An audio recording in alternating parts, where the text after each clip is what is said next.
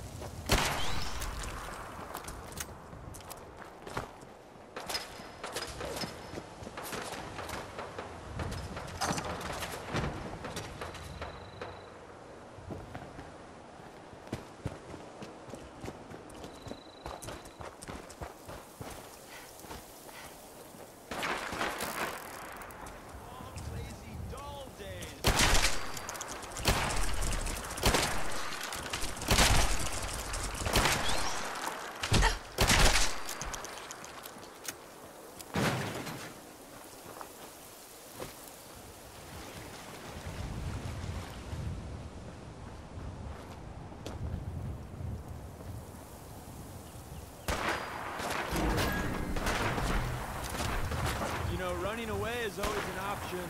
I won't shoot. Promise.